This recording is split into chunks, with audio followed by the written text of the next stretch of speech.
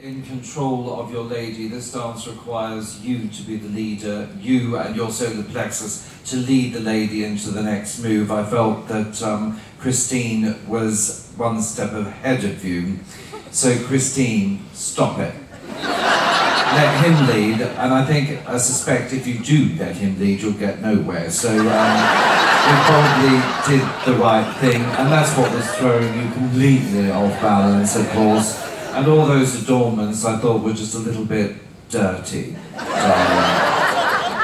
There is such a thing as too much intent, darling. We don't want to show the world, you know, what we're really thinking.